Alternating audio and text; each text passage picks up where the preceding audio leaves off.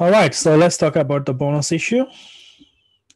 So the bonus issue we have here, activity three from chapter number one. So the question said Dark Limited has the following equity, share capital, 100,000, share premium, 40,000. Then you have return earnings, 200,000. Dark Limited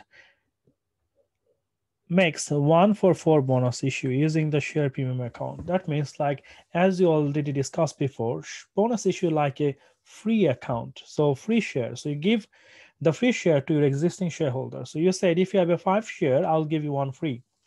So let's have a look how many share we have. So we have total 100,000 share because one pound ordinary share.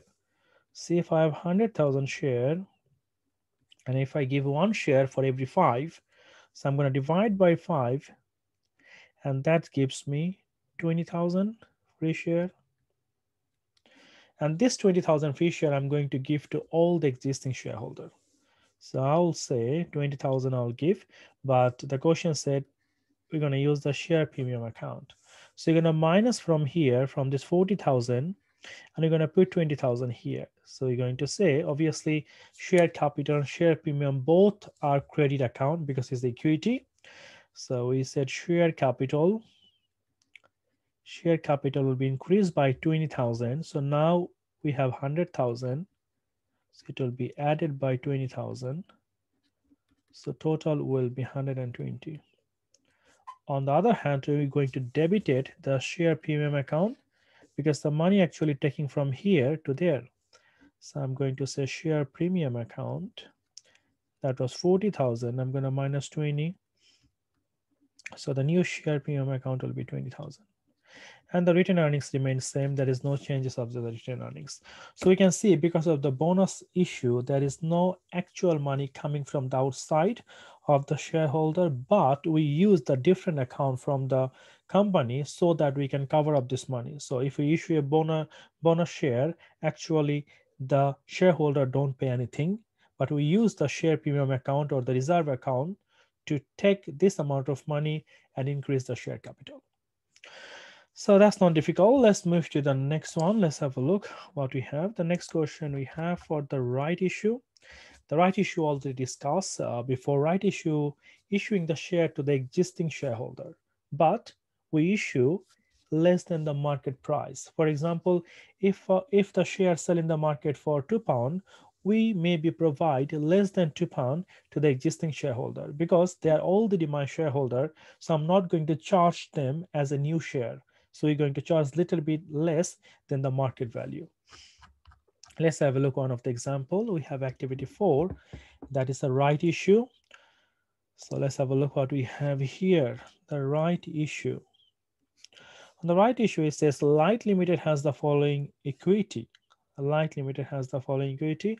Ordinary share capital, we have 200,000 and each share we have one pound share, premium 50,000, return earnings 30,000 light limited makes one for four. So that means if you have four share, I'll give you one as a right issue with the less price, issue 1.20 per share. Now we already discussed that anything we issue more than or above the nominal value is share premium. So our nominal value or the ordinary share value is one pound. So we're selling for one pound 20. So the difference is share premium. So I said 120 I'm selling and the one pound is the nominal value. So the difference is 20 pence. This is my share premium account. All right, we understand that. So let's try to do that now. So we have share capital. We already have 200,000. So we said share capital. So share capital will be increased by how much? So you already have 200,000 and because of the right issue how much right issue are you going to issue in the market so we said for every four share you will get one so for 200,000 share divided by four isn't it? So that will tell me how much is the right issue. Number of share and i'm going to times by one because for each share i'm going to charge one pound. That will be for our share capital. So that will give me how much? 50,000 so my new share capital will be 250,000 because of the right issue. share capital. On the other hand, we charge one pound 20. That means 20 pence extra in every share. So this 20 will increase the share premium. So you already have share premium 50,000. So we said share premium account, that is 50,000. And for 200,000 share, so obviously we have 200,000 share divided by 4 times by 20 pence. And that gives me 10,000. So that's my 60,000, the near share premium account. So the return earnings remain same. There is no changes for the return earnings. So we have increase the share capital account and the premium account. Share capital remain always fixed. Doesn't matter how much I am selling for. Even if I sell one share for five pound, still the share premium will be increased by each share only one pound. Anything extra is a share premium account.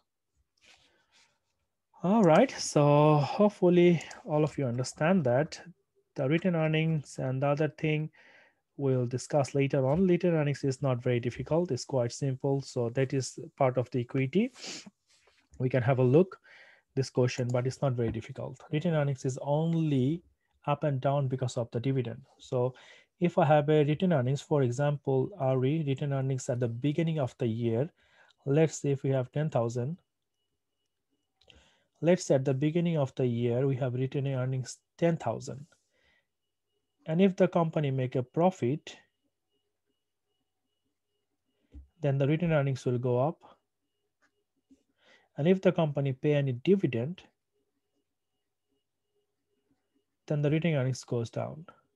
So from the return earnings, if I pay any dividend, the return earnings will go down because we pay the profits, we pay the dividend from the profit, and return earnings is the profit. So if I pay any dividend, the return earnings will go down, the total amount. And if we make any profit, then the return earnings, return earnings will go up. So return earnings is the total profit up to today. If I pay dividend, it will be reduced. If I make any profit from the business, it will go up. So let's have a look what's happening here. So they said on 1st January 2005, Orion Limited had written earnings 50,000. So that's my opening written earnings. So at the beginning, I had 50,000. And in the year 31st of December 2005, a profit 20,000 is make. So I make a profit. So that my written earnings opening figure then I make some profit. So it will increase my return earnings. So that is 20,000. And I paid some dividend, 5,000. So if I pay the dividend, that will reduce my return earnings, 5,000. So still my closing balance for the return earnings is left 65. It's very simple. All you have to remember, if I make a profit from the business, my return earnings go, go up. If I make a loss, then return earnings go down. And if I pay dividend, my return earnings go down. That's it. All right, so the revaluation reserve, we already discussed that. Preference share, bank loan, this is not very difficult. And I think this is the end of the chapter. So this is chapter number two, uh, one we have done. Hopefully on the next session, we talk about chapter number two. Thank you very much for watching. If you have any question, feel free to email me. You have my email on the description. So if you need any help, you can always email me. Thank you very much.